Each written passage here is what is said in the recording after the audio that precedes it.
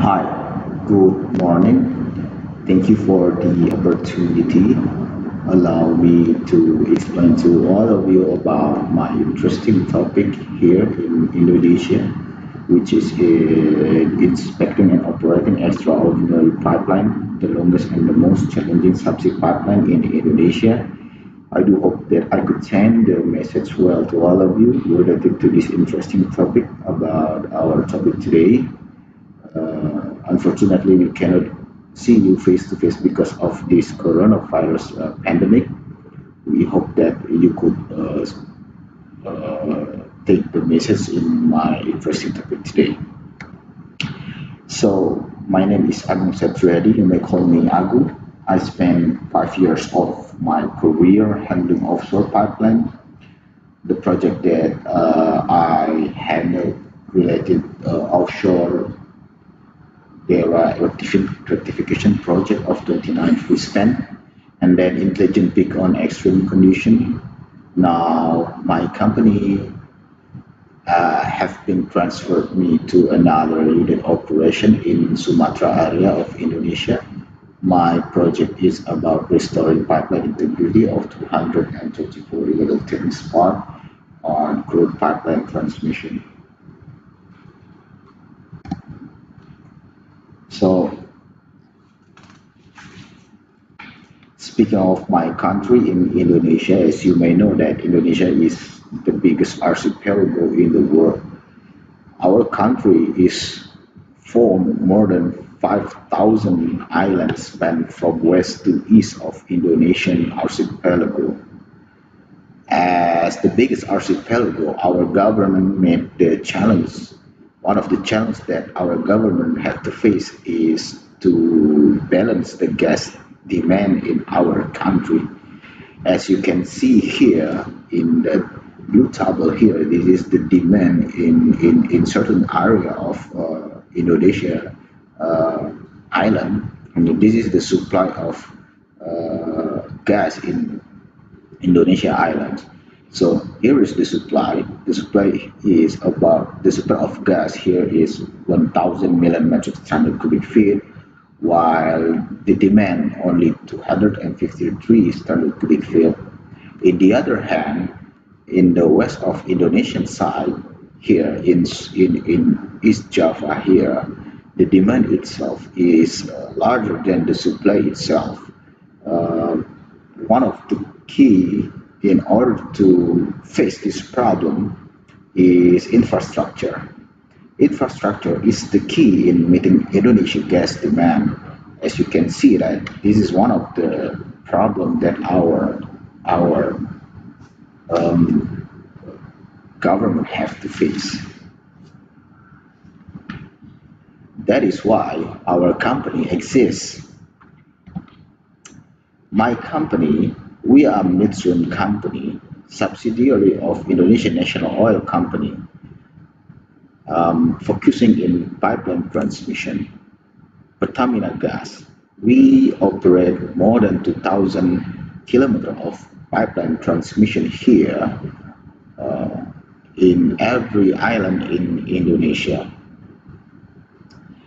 As trans and as transporter of gas we also have uh, transported 1,000 1,400 million metric standard cubic feet natural gas transported uh, in, in, in all over Indonesian country, which is, it makes we are one of, we are the biggest transporter of gas in Indonesia. In terms of unit operation, our company have at least five unit operation here in Aceh, here in uh, North Sumatra, South Sumatra here, and Java here, and Kalimantan itself here. On this opportunity, I will focus on my unit operation in Eastern Java area itself. So on the graphic shows as the comparison of our unit operation in Eastern Java area. This is the, the, the, the length of the Indonesian subsea pipeline here. we uh, we have 370 subsea pipeline here in, in, in East Java side. Our pipeline span on the north of Bali Island here, the north of Bali Island here, about 360 kilometer and have 28, 28 of inch of diameter here. Um, so as you may know that Bali is one of the, the famous island to get leisure and holiday because um, its beautiness and very uh, lot of spot to visit here. A lot of gas we transported here for power plant in East Java area. The power plant here will support it East Java province and Bali and some other gas here will be utilized as raw material in fertilizer and petrochemical company in um, Gresik region. Nearly half of the nearly half of the gas demand here are channeled through our pipeline here which is operated by our company and it makes that our uh, subsea pipeline here is the artery of East Java in fulfilling the high demand of gas in East Java area. So, speaking of milestone of the, the, the, the pipeline, this pipeline was built in 1993 Therefore, the first inline inspection was conducted in 1993 as well. And then unfortunately, on 2006, there are accident on our onshore pipeline here. Uh, the onshore pipeline explode caused by uh, Lapindo Mud here. And then we have also um, the failure in inline inspection in 2012 because of the back pressure. I will elaborate to all of you later here.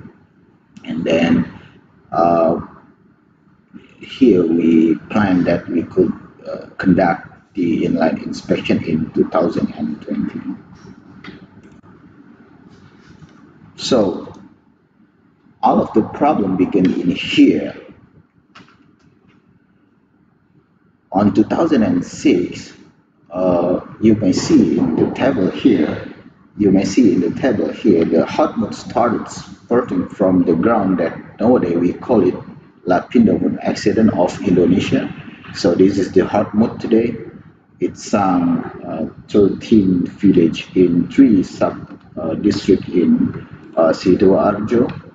Um, you can see the impact that this Lapindo sang 13 village villages in three sub-districts, which is uh, it cover a lot of area in Sidoarjo area, and then all of the area have been sunk because of this mode.